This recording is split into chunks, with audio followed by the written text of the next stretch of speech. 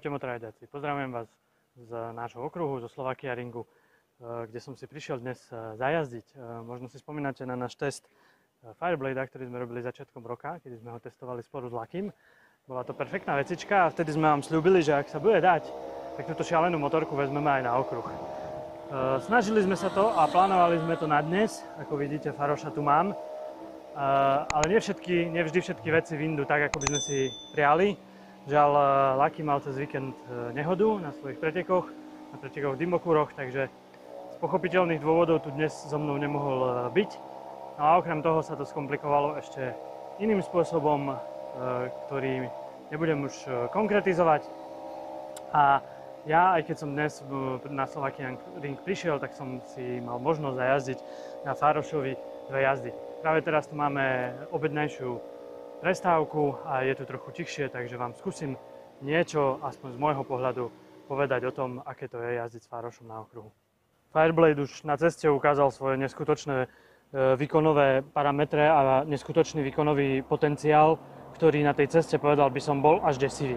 Tak ako som očakával, samozrejme na tom okruhu e, to všetko vypáli trochu inak a okruh je presne ten priestor, kde sa dá dať aj motorke, takto silnej motorke, ako je tento liter, dať nejako za uši. Rozhodne je to asi jedna z najsilnejších motoriek, aké som kedy sedlal, eh, aj tu na, na Slovakia Ringu. Eh, Slovakia Ring je rýchly okruh, takže tu na sa ten výkon jednoducho hodí a je tu kde pridať.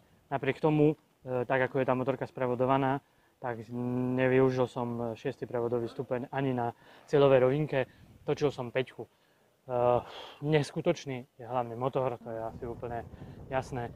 Ten motor má uh, nekonečné otačkové pásmo. Držať ho v tých najvyšších otačkách znamená, že tu fakt radíte 2-3. Na zadnej tej rovinke som dával na chvíľku štvorku, na hlavnej cieľovke 5 a aj tak som nevždy bol úplne vytočený až do maxima. Ten, mo- ten motor na liter má naozaj neskutočne vysoké otačky, uh, do ktorých sa dá žmýkať.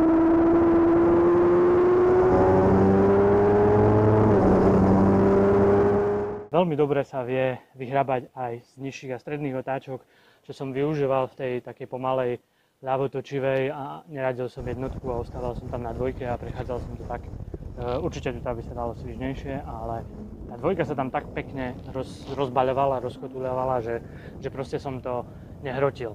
Motor je teda ten, hlavná, ten hlavný, uh, podľa mňa, ťahák celej tej motorky. Samozrejme, uh, musím spomenúť quickshifter a prevodovku, ktorá neskutočne dobre funguje ten quickshifter úplne, že parádne oboma smermi, tak dobre, ako si to športová, superšportová motorka zaslúži.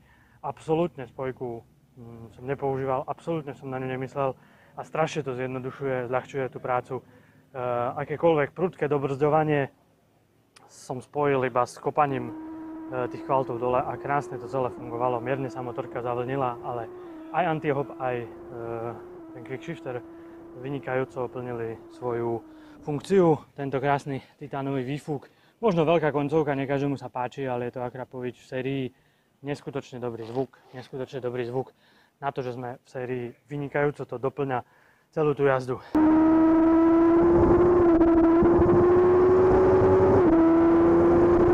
To, čo som absolútne neriešil čo sa absolútne nedalo vzhľadom na krátkosť času a dve jazdy, je všetka tá elektronika. Dal som si jedno nastavenie, aj čo sa týka podvozku, aj čo sa týka tej palivovej mapy.